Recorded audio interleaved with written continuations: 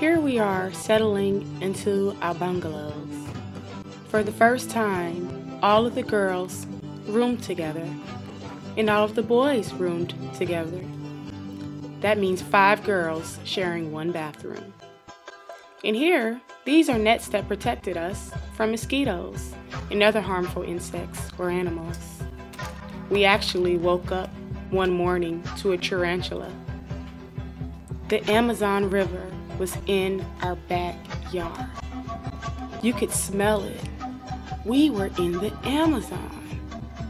The boys stayed right next door to us. We were practically neighbors.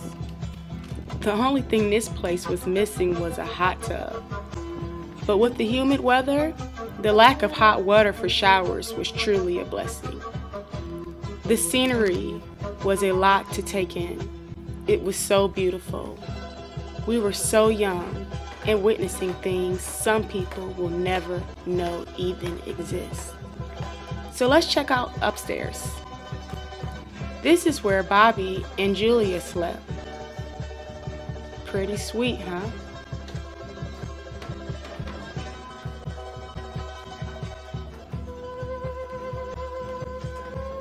Let's check out the view. That hammock down there was so comfortable. Boy, we were so blessed to study in Peru. But honestly, the bungalows had nothing on the food. It was delicious. I believe the meals were the best we had in Peru. Everything the chef prepared came from the local villages up the Amazon River. This bungalow resort was very important to this society's economy.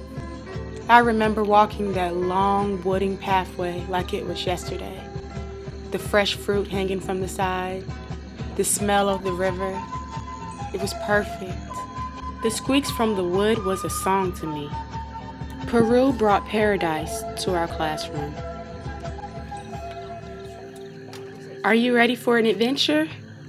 I hope so, because our guide took us on a lot of adventures throughout the jungle. We visited local communities. We went piranha fishing. We also went deep into the Amazon at night. That was kind of scary. We were there to catch caiman. Caiman are like baby crocodiles. However, we weren't so lucky that night, and I'm glad we didn't catch any.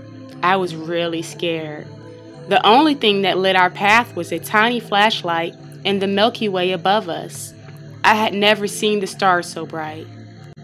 So there we were, off on our adventure into the Amazon.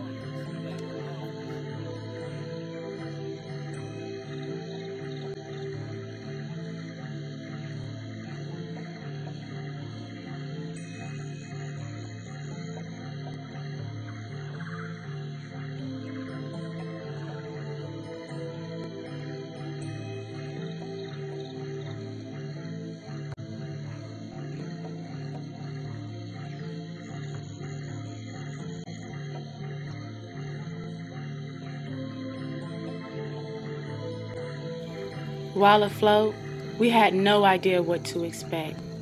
There were birds of every kind. It was beautiful. There were dolphins. Did you see it? And iguanas with red heads, from the smallest animals to the biggest. Hey, there's a sloth. Do you see it up in the tree?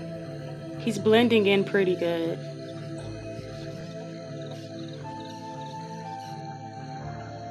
He's beautiful.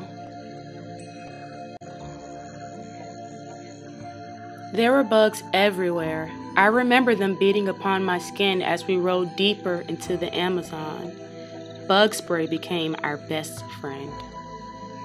But just when we thought things were interesting enough, they got even more interesting. As crazy as it sounds, we decided to take a hike through the jungle. And the forest was huge, full of greenery. Only a machete could clear the path. Our guide's grandfather used to be a curandero, a healer, a shaman. two years before he died, he said, we will never be ashamed. I said, okay, I respect his decision because this is a cross culture, you know, when you talk about shamanism or shamans. We believe pretty much in these people. It's all about faith, okay? So there are many curandeiros in the Amazon, Peru, Brazil, Colombia. So there are all of these uh, doctors or whatever we want to call healers or wishmen. So we respect them. What an astounding culture. Now we're off to search for ayahuasca.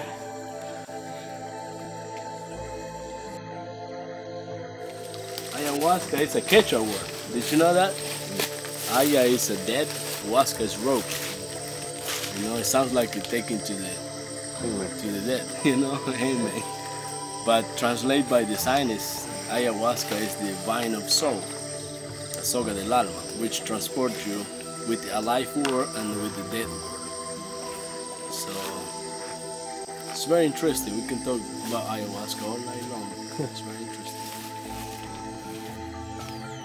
Deeper and deeper, we traveled into the Amazon. Here, we came across a termite's nest. It was huge. Did you know that termites are edible? And can you guess who tried one? We saw lots of interesting things in the Amazon. We even saw spider monkeys. These are the smallest monkeys in the world. They are usually in small families, three or four of them together.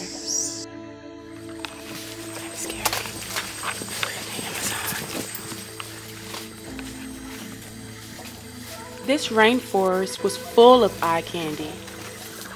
Hey, that's a flower. Pretty cool, huh? It was starting to get late, and we were a bit tired, so we decided to take a break.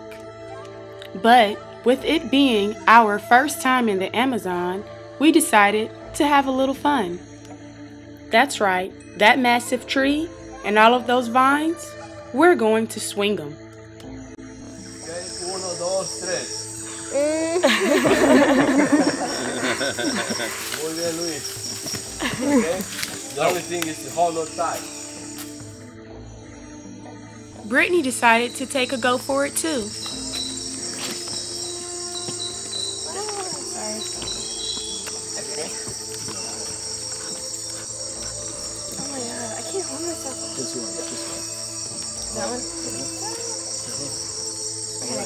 Dale. Uno, dos, tres. Dale.